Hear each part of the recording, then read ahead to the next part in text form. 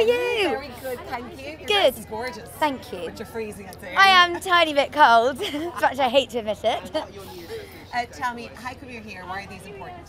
Oh my gosh, it's just so exciting for me to be here because I've, I've followed this for years and years, and then to actually be on the red carpet is quite special. Um, but I think our military personnel need to be celebrated so much, um, and to be here and to watch.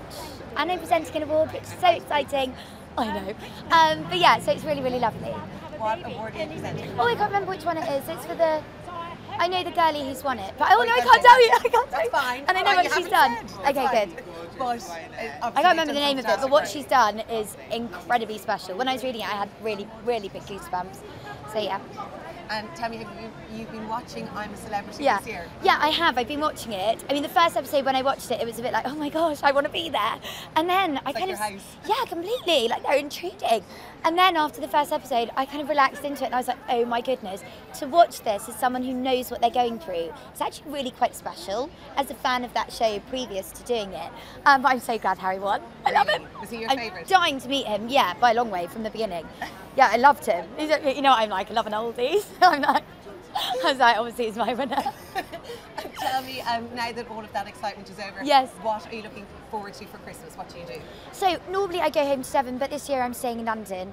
Um, yeah, weirdly, um, but I'm strangely excited. I think it'll be different, um, and I've got my Christmas tree up in my flat, so I'm going to make it as festive as possible. Are you hosting or are you going to someone else?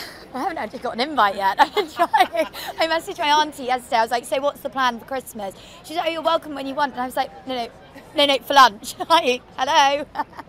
But this is a good way to broadcast. well, quite. ask. Yeah, yeah, yeah. she knows now. and tell me, is there anything exciting coming up in 2019? I think for me, this year has been a bit of a blur, um, and I'd like to just maybe have a holiday in January. A year-long one. Oh, no, no, never, never. I say that. I've been talking about this to my manager. I want a holiday, holiday. And I'll go on holiday for two days. I'm like, right, I'm coming home now. I miss work. But yeah, maybe for a week or so.